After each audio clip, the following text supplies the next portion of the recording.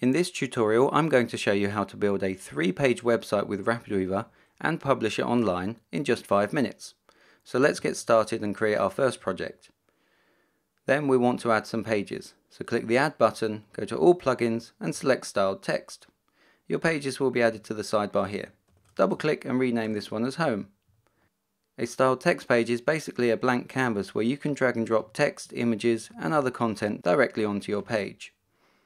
Now the first thing to remember with RapidWeaver is that it has two modes, an edit mode where you add and change your content, and a preview mode where you see what your site looks like in the browser. By default, RapidWeaver uses the off-road theme. However, for this tutorial, I'm going to switch to the new Voyager theme. So scroll down and select Voyager here. You'll see that RapidWeaver automatically updates in the background. Now the first thing I want to do is customize the title and slogan for our site. So go to the general settings and update them here. To save time, I'm going to drag in my slogan. Now when we go back to preview, you'll see RapidWeaver automatically updates. We're going to look at updating this banner image later, but for now I want to style some of my content. So go back to the edit mode. Now the first thing I'm going to do is add a title. So highlight some text, go to the HTML drop down menu and select heading 1. Next you might want to style some of your text, so highlight it and use the style controls in the bar here. I'm going to make this bold and change the colour to red. Now when we go back to preview, you'll see that RapidWeaver has applied those styles for us. So next I'm going to add a gallery. To do that, click the Add button, go to All Plugins and select Photo Album. Again, your page gets added to the sidebar. Double click and rename this as Gallery. As always with RapidWeaver, you can just drag and drop in some content. So I have some photos here that I'm going to use. Just drop them into the page. Next, I'm going to customize how this gallery looks. To do so, open up the Page Inspector. This is where all of the page specific settings are held. For this tutorial, I'm just going to concentrate on the last tab here.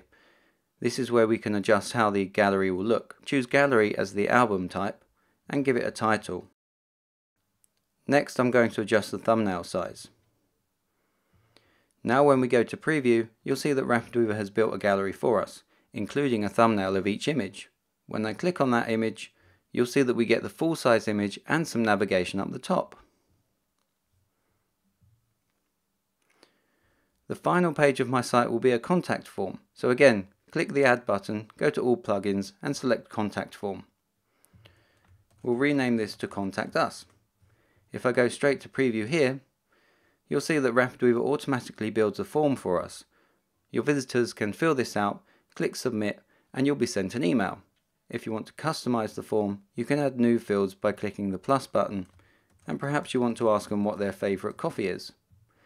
You can select the field type here, but we'll leave it as text field for now. If you want to organize these fields, you can just drag and drop.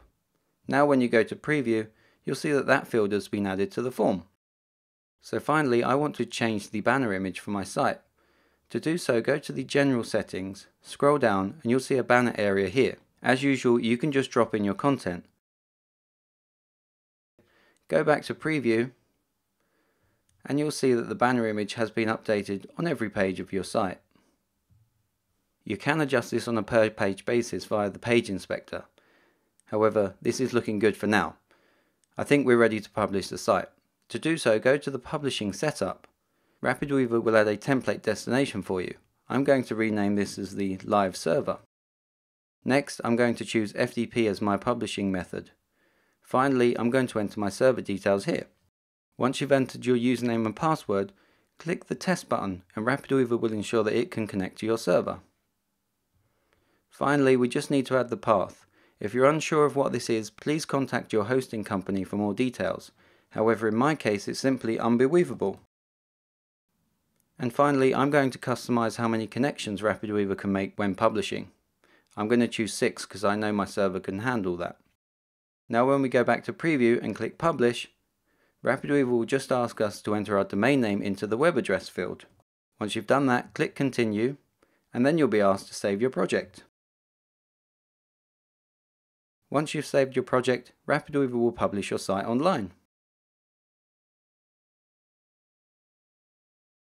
When publishing has been completed, you can visit your site in the browser.